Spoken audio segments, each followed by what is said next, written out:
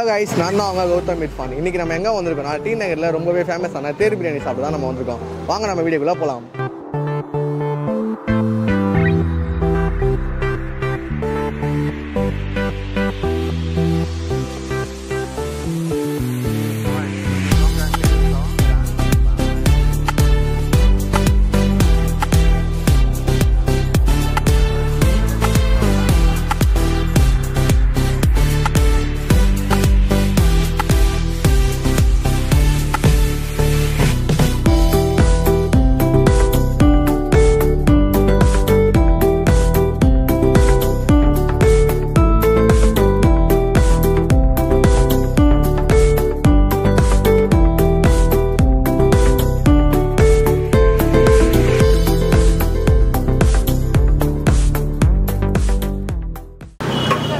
சொல்லுங்க ப்ரோ உங்கள் பேர் என்ன ப்ரோ ஜெயகாந்த் ப்ரோ எவ்வளோ நாளான கடைக்கு வந்து சாப்பிட்றீங்க? எப்படி கடை time first time bro first டைமா அவன் தான் கூப்பிட்டு வந்தான். கடையை எப்படி பார்த்தீங்க நீங்கள் இந்த கடை உங்களுக்கு எப்படி தெரியும்? இவ்வளோ பேர் கூட்டமாக இருக்காங்கல்ல? ஆ. அதான் ப்ரோ கடை பேர் கூட இல்லை பாருங்க. சும்மா வந்தேன். ஸோ சிக்கனும் அவன் மட்டும் வாங்கியிருக்கான் ம் ஸோ சிக்கன் பார்த்தீங்கன்னா ஒரு முட்டை. ஸோ அப்புறம் வந்து ஃப்ரைடு சிக்கன் இருக்குது அப்புறம் வந்து பெப்பர் சிக்கன் இருக்குது ஸோ அதுவும் இல்லாமல் இதுதான் ப்ரோ இந்த ஸ்வீட் தான் ப்ரோ பயங்கரமாக டேஸ்ட்டாக இருக்குது ஸோ அது இல்லாமல் ஆனியனு செம்ம டேஸ்ட்டாக இருக்குது ப்ரோ இந்த ப்ரைஸ்க்கு இது ஒர்த்தா ப்ரோ நல்லா இருக்கு ப்ரோ நாங்கள் சரௌண்டிங் நிறைய இடம் சாப்பிட்ருக்கேன் பட் இங்கே இப்போ ஃபஸ்ட் டைம் சாப்பிட்றோம் சூப்பராக இருக்கு நல்லா. பெரம்பூர்லேருந்து வரேன். பெரம்பூர்லேருந்து வரீங்களா? இந்த பிரியாணிக்காக தான் வந்தீங்களா? இல்லை வேறு ஏதாச்சும் வேலை இந்த பக்கம் இருக்கா உங்களுக்கு? நம்ம டிரைவரு ஆ. சிட்டிக்குள்ளே வண்டி ஓட்டுறோம். பசங்க டீ நகர் சைடு வந்தோம்னா ஆ. இந்த பிரியாணி வந்து கண்டிப்பாக சாப்பிட்டு தான் போகணும். இந்த டி நகர் மெயினான ஏரியாவில் நிறைய கடை இருக்குது அதெல்லாம் விட்டுட்டு நீங்கள் இந்த ஸ்பெஷலாக அதுவும் இந்த தள்ளு வண்டி கடைக்கு நீங்கள் வந்து சாப்பிட ஏதாச்சும் ஸ்பெஷல் ரீசன் ஏதாச்சும் வச்சுருக்கீங்களா? டேஸ்ட்டு ஆ. அப்புறம்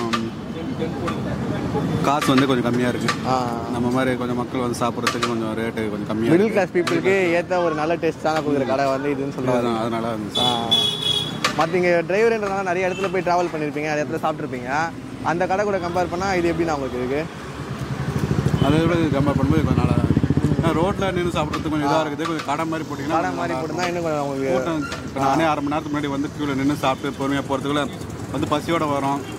உடனே வந்து வாங்கி சாப்பிட முடியல. க்யூவில் நின்று வாங்கி பொறுமையாக சாப்பிட்டு அது பசி அடங்கி போயிடுது.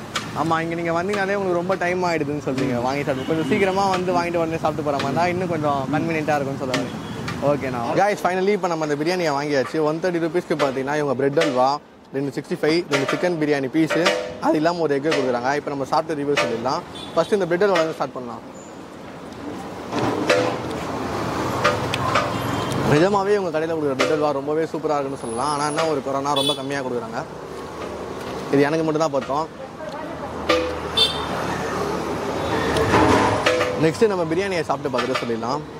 பிரியாணியோட பீஸ்லாம் நல்லாவே குக் ஆயிருக்குன்னு சொல்லலாம். பிரியாணியோட பீஸ் வந்து பார்த்தீங்கன்னா எல்லாமே நல்லா சாஃப்டாக இருக்குது பீஸ்க்கு பார்த்தீங்கன்னா இவங்க சிக்கன் சிக்ஸ்டி ஃபைவ் பீஸு ரெண்டு பீஸ் நல்லா பெருசாகவே கொடுத்துருக்காங்க. கண்டிப்பாக இதெல்லாம் ஒர்த்து தான். ஒன் தேர்ட்டி ருபீஸ்க்கு இவ்வளோ சிக்கன் பீஸும் கொடுத்து எக்கு வேறு அடிஷனலாக கொடுத்துருக்காங்க. எல்லாமே சேர்த்து ஒர்த்து தான் இந்த பிரியாணியை.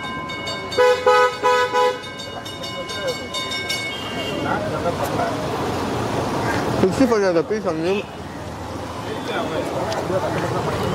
இந்த சிக்ஸ்டி ஃபைவ் இருக்க பீஸ் வந்து பார்த்தீங்கன்னா செம்மையாக வெந்திருக்கு. ஒரு மாதிரி ஹார்டாக இல்லாமல் செம்ம சாஃப்டாக இருக்குது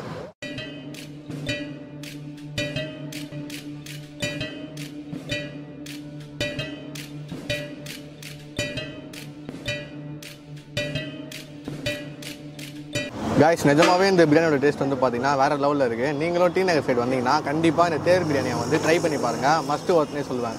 இல்லைங்க ப்ரோ உங்கள் பேர் என்ன? இந்த கடை எப்படி ஸ்டார்ட் பண்ணணும்னு ஒரு ஐடியா வந்தது. நேம் என் நேம் கார்த்திக். சும்மா சைட் பார்ட் பார்ட் டைம் இன்கம்காக ஸ்டார்ட் பண்ணேன். அப்புறமேட்டா அதே இப்போ மெயின் ஆயிடுச்சு ப்ரோ இந்த பிஸ்னஸ் ஸ்டார்ட் பண்ணுறது மாதிரி ஏதாச்சும் ஒர்க் பண்ணியிருக்கீங்களா இல்லை பேங்கிங் ஷாப் பண்ணுறேன் பேங்கிங் ப்ரொஃபஷனில் விட்டுட்டு ஒரு பிரியாணி ஷாப் பண்ணுற ஐடியா உங்களுக்கு எங்கே ஒரு பார்ட் டைம் ஸ்டார்ட் பண்ணேன். ஒரு சைடு இன்கமாக இருக்கட்டும். சொல்லிட்டு பண்ணேன் ப்ரோ இப்போ நிறையா வந்து நம்ம கடைக்கு ரீச் இருக்கு. ஒரு ரோட்டில் நம்ம தள்ளு வண்டி போட்டு சேல்ஸ் பண்ணாலும் இப்போ ஒரு பெரிய இடத்துல கூட கிடைக்காத ரீச் வந்து உங்களுக்கு கிடைச்சிருக்கு ப்ரோ இதை நீங்கள் எப்படி பார்க்குறீங்க கண்டிப்பாக இந்த ரீச்சை வந்து நீங்கள் எக்ஸ்பெக்ட் பண்ணீங்களா? தான் ப்ரோ ரொம்ப எதிர்பார்க்கல நான் இதெல்லாம் எதிர்பார்க்கல. கடவுள் நான் என்ன எதிர்பார்த்தேன்னா மேக்ஸிமம் ஓரளவுக்கு போகும். அப்படி இல்லைன்னா ஏதாவது கடை ரெண்டு கூட்டலாம் அந்த மாதிரி ஒரு ஐடியாவில் இருந்தேனே. ஆனால் எந்த அளவுக்கு போகும் நான் ஆனால் நீங்கள் பேங்கிங் ஃபீல்டை விட்டுட்டு இது ஃபுல்லாகவே எடுத்து பண்ணுறப்ப நிறைய பேர் வந்து உங்களை டிமோட்டிவேட் தான் பண்ணியிருப்பாங்க. கண்டிப்பாக நல்லா வந்து சொல்லியிருக்காங்க. சான்ஸே கிடையாது. அதை நீங்கள் எப்படி ஃபேஸ் பண்ணி வெளியே வந்தீங்க? ஸ்டார்ட் பண்ணும்போது ஃப்ரெண்ட்ஸ்லாம் சொன்னானுங்க வேணாம் மச்சான் மாதிரி சொல்லி சொன்னானுங்க. எல்லாம் சொன்னாங்க சொல்லிட்டு ஆனால் வந்து ஸ்டார்ட் பண்ணோன்னே அவனு இப்போ பின்னாடி ஓடி போகிறோம் அவனு தான் பண்ணிட்டு இருக்காங்க அவங்க ஃப்ரெண்ட்ஸ் வந்து உங்களுக்கு ஃபுல் சப்போர்ட் இந்த பிஸ்னஸ்க்கு பின்னாடி திரும்பி பாருங்க. பார்த்தா பார்த்தா அவங்க மூணு பேர் ஆமாம் ப்ரோ நீங்கள் ஒரு மணிக்கு ஸ்டார்ட் பண்ணீங்க ரெண்டு மணிக்கே முடிஞ்சிருச்சு. ஆனால் நிறைய பேர் வந்து இன்னுமே க்ரௌடு அதிகமாக வந்துட்டே இருக்கு. இது வந்து எல்லாருக்குமே நீங்கள் சப்ளை பண்ணுற மாதிரி ஏதாச்சும் பிளான் வச்சிருக்கீங்களா? ஏன்னா இப்போ நான் வந்து ஒரு மூணு நாலு பேர் இல்லைன்னு சொல்லிட்டு போகிறாங்க அது வந்து உங்களுக்கும் கஷ்டமாக இருக்கும் வரவங்களுக்கும் கஷ்டம். இல்லைன்னு அது எனக்கு தெரிஞ்சு அது ஃபஸ்ட் ஒன்றே புரிஞ்சு நம்ம இல்லைன்னு கூட நம்ம சொல்லிடலாம். இருக்கிறத வச்சுட்டு அந்த திருப்பி பழைய இப்போ எங்களுக்கு வந்து எல்லாரும் தெரியும் அப்புறம் நான் இல்லைன்னு சொல்லி அனுப்பிச்சிடுறோம் அடுத்த நாள் நாங்கள் அந்த இது யூஸ் பண்ணவே போகிறோம் இது ஓப்பனாக எங்களுக்கு தெரிஞ்சு வரும். ஏன்னா இப்போ எல்லாரும் வந்து ஹோட்டல் ஃபீல்டில் என்ன பண்ணுறாங்க நான்வெஜ் வந்து பழைய இது யூஸ் பண்ணுறாங்க அதெல்லாம் யூஸ் பண்ணுறாங்க அது எங்களுக்கு கடையான்றது தெளிவாக உங்களுக்கு தெரிஞ்சு. ஆமாம் ஆமாம் ஏன்னா இன்னைக்கே காலி இன்னைக்கே வாஷ் அவுட் தான் நான் டெய்லி எல்லாத்தையும் இந்த மாதிரி முடிச்சுட்டு போகிறதுனால உங்களுக்கு அடுத்த நாள் சாப்பிடும்போது நீங்கள் சாப்பிட்றது நல்ல ஃபுட்டு உங்களுக்கே தெளிவாக தெரிஞ்சிடும் ஆமாம் கண்டிப்பாக நீங்கள் அதே மாதிரி இன்னொன்று ஏதாவது சாப்பிட்றவங்க ஏதாவது ஃபீட்பேக் பண்ணோன்னா கம்பல்சரி நான் ஏற்றுப்போம் ஏன்னா எல்லா நாளும் ஒரே மாதிரி எங்களால் பண்ண முடியாது. ஏதாவது ஒரு நாள் இப்போ சாப்பிட்றவங்க வந்து ஒரு ஒருத்தர்கிட்ட நாங்கள் வீடியோ எடுக்கிறப்போ ஃபீட்பேக் bro. இந்த கடை வந்து பார்த்தீங்கன்னா சாப்பிட்றது டேஸ்ட் வைஸ் எல்லாமே ரொம்பவே பெட்டராக இருக்கும். ஆனால் அவர் என்ன சொல்கிறாருன்னா இப்போ வந்து நின்றனா லைனில் ஒரு ஆஃப் அன் ஹவர் நிற்கிற மாதிரி இருக்குது ரெண்டாவது ஒரு பசியோட வரப்ப நின்றுட்டு அதுக்கப்புறம் வாங்கிட்டு சாப்பிட ரொம்ப டைம் ஆகுது. அது மட்டும் நீங்கள் கொஞ்சம் உங்ககிட்ட சொன்னால் நல்லா இருக்கும்னு சொன்னார். இன்னொரு கடை பார்த்துட்டு கடை பார்த்துட்டு அதே மாதிரி ரொம்ப வெயிலாக இருக்குன்னு மக்கள் வந்து ஃபீல் பண்ணுறாங்க கொஞ்சம் நீங்கள் ஏதாவது பேனர் போட்டால் இங்கே கம்ப்ளைண்ட் வந்து ரோட் சைடுன்றனால நம்ம ரொம்ப ரோட் சைடு ஆக்குபை பண்ணிக்க முடியாது.